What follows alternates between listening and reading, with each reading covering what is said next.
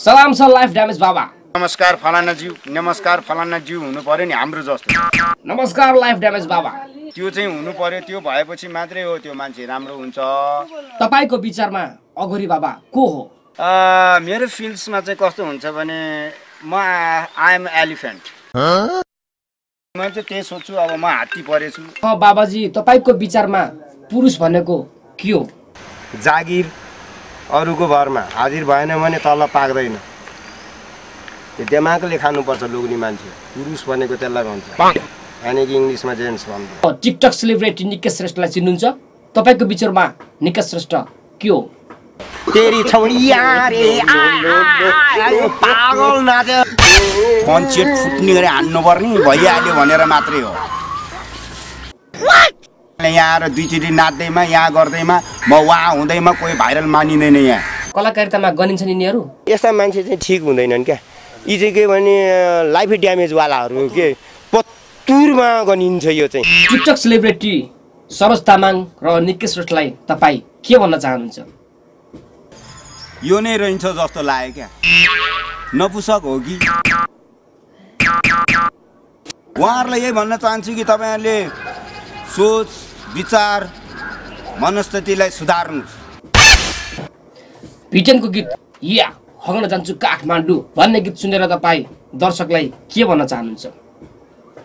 बिहानै पनि यहाँ बेलुकै पनि यहाँ दिनी होइन उता काम गर्यो जाहिरको पैसा पनि ट्या। बोला ट्वा खार हो। यहाँ देख्नु भएन सबैतिर।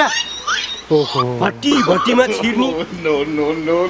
हग्ने ठाउँ ठाउँ हुँदैन। आ, जहाँ बाटैतिर हग्ने के तपाईँ हग्नुहुन्छ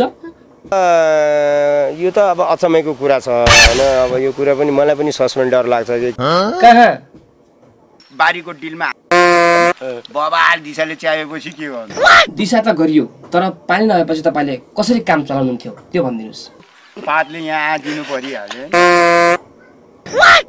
युद्धमा त अब मेरो लाइफको ड्याम ड्यामेज छ भने म नाङ्गै गएर ट्याङ्क माथि भइदिनु परेन बाबाजी कोरोनाको लकडाउनले गर्दाखेरि देशमा धेरै राहत आइरहेको छ। गरिबहरू धेरै भोकमरी लाग्यो भनेर।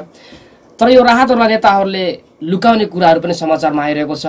तपाईँ नेपालका नेताहरूलाई के भन्न चाहनुहुन्छ? जनता जान्न चाहन्छ।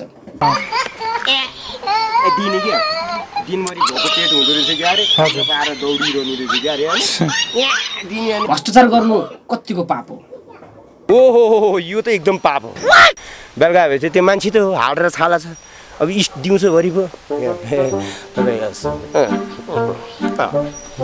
राति भएपछि त्यही पत्तुर हो अह अहिलेसम्म तपाईँ कहाँ कहाँ घुम्नुभयो? पतनदेखि हत्तन हत्तनदेखि चत्तन चत्तनदेखि मतनसम्म मरणसम्म पुगेको छु मलाई अह अगरी बुवा अगरी बाबा लाइफ ड्यामेज बाबा भनेर पनि तपाईँ चिन्नुहुन्छ। धेरै मिडियाहरूले तपाईँलाई इन्टरभ्यू पनि लिन आउँछन् अगरी बाबाले धेरै एकदम नै कलाहरू सिकाउनुहुन्छ। हग्ने कला पनि तपाईँले सिकाउनुहुन्छ भन्ने सुनेको थिएँ।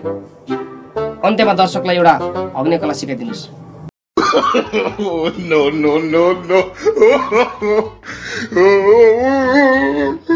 Yeah.